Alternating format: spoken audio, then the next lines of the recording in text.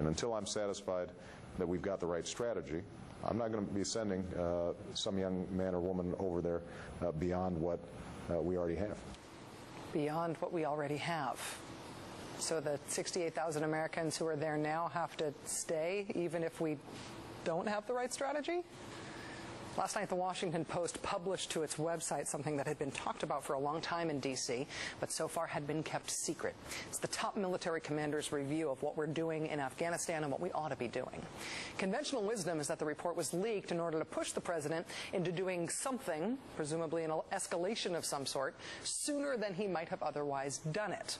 The report by General Stanley McChrystal raises the possibility over and over and over and over again of a U.S. military failure in Afghanistan. Quote, failure to gain the initiative and reverse insurgent momentum in the near term risks an outcome where defeating the insurgency is no longer possible quote, resources will not win this war, but under-resourcing it could lose it. Quote, continued under-resourcing will likely cause failure. Quote, the insurgents cannot defeat us militarily, but we can defeat ourselves. Quote, any of these risks, in turn, are likely to result in mission failure over and over and over again, this leaked report raises the specter of failure, of defeat in Afghanistan even as it defines what's going on in Afghanistan right now as, quote, not a war in the conventional sense. So it's not a war, but a thing that's not a war that we can lose. Even though President Obama inherited this, whatever you choose to call it, from George W. Bush, no president wants to be the president who loses the not war in Afghanistan in its ninth year.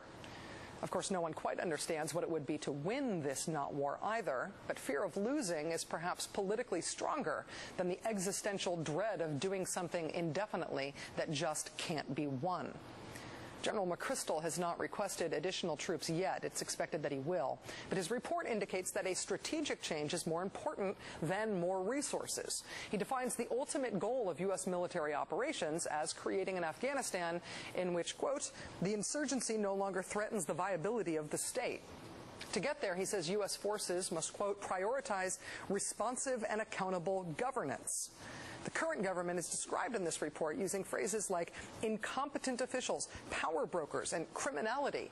Also, quote, high-level abuse of power, low-level corruption, and bureaucratic incapacity.